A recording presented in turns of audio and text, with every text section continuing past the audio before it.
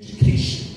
She spent her life savings taking us to the best schools in Kenya up until high school. After that, we were on our own. Rahab over there was saying that we grew, we, we spent many years together, 30 years ago. That's because we were both flight attendants. My first job as a flight attendant in the skies. I was a waiter in the skies. That's how I got to see the world at the age of 19. And from there, I got to I got the opportunity to come to America and go to school. Ended up at New York University studying broadcast journalism, and the rest, as they say, is history. That's how I work my way. Many of you have similar stories. Many of you have gone through struggles, trials, and tribulations. That's why I was saying earlier on, everyone in this room has a story to tell not just for your kids or their kids, but for other Kenyans to know that there were people like you who struggled to make it. They need to know. If they don't know, who's going to know? If you don't tell your story, who will? If you don't, it'll become his story, history. And you'll be hearing things like, they discovered Mount Kenya and Mount Kilimanjaro like it wasn't there before they discovered it. it was their story. History is always told from the point of view of the hunter, not the hunted. The lion can never tell a story, but we can, and we should, and we must. That's the most important thing. And the fact that this organization has been launched today, folks, this is a stepping stone. This is the next step. We want to make Kenya proud. We're all proud to be Kenyan. You can have three, four passports. That's fine. Passport is a piece of paper that makes you travel from point A to point B. My little son was born in South Africa. Proud little boy, eight years old. Every time Kenya is playing South Africa in the rugby, he says, Papa, I'm playing against you guys. My son, I'm playing against you guys. He's so proud to be South African.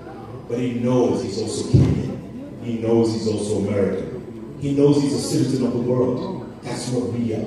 Someone was talking about the Jews in Iran, Israelis. They love to be called Israelis. They're so proud of their country. And yet when you go to New York City or Chicago or wherever they are, and they're everywhere, they're so proud to be American. But it's Israel first. That's what we should be, folks. You guys are untainted. When you say one voice, that yet. When you say one diaspora, one voice, that's what we mean, folks. You haven't been tainted by that tribalism and negative ethnicity that you read about in the papers every day that's happening back home. You haven't been tainted, and you shouldn't be tainted, because that stuff is a cancer. Stuff will destroy us. You guys have to lead the way, because you have come across the pond and you have seen what it's like on this side. You have to be the that fuel, that energy that's going to change things. That six month old kid over there doesn't know anything about tribalism, has no clue. It's stored in the house, it's stored by us people. We wreck this place. Let's not wreck our country, folks. There's no other Kenya to go to. I once covered a country called Rwanda right after the genocide in 1994. A million people slaughtered in the length of 100 days. When you do the math on that, that means 10,000 people were killed every day. 10,000 slaughtered. Pangas, machetes, guns, you name it. 10,000 a day for 100 days is a million people. 22 years later, Rwanda has risen up. It's an incredible country. They've done so well, led by that one man. One man can change it. Why do we want to destroy our country? Where are we going to go? Canada? Where I understand the rejects are all being welcomed. Where do we want to go? There's only one Kenya, folks.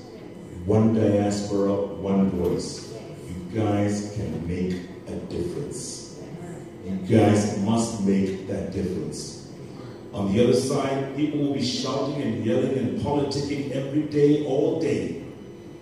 What are we going to do about moving the country forward? What are you going to do? Don't keep saying, oh, it's up to J- uh, Jubilee, it's up to CORD, it's up to whoever. No. It's up to you guys. Everyone needs to be involved. All hands on deck. You can't stand on the side of the field and start giving instructions and you're not in the game. You've got to be part of the game. I'll end by saying this, folks. One of my favorite movies is a movie called Field of Dreams. I don't know if you've ever watched it. Old movie is about 20, 25 years old, starring Kevin Costner and James Earl Jones and a whole host of actors. Great movie. It's about baseball, but it's also about life.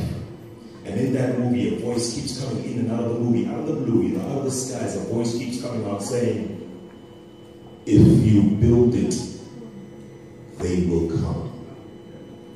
If you build it, they will come."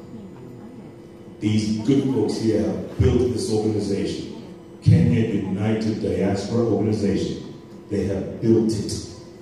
It's up to you to come. It's up to you to make it what you want it to be.